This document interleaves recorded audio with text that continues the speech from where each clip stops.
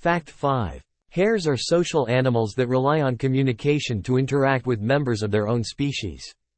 They use a range of methods to communicate with each other, including scent marking and vocalizations. Scent marking is a common method of communication among hares. Hares have scent glands located on various parts of their bodies, including their chin, chest, and anal area.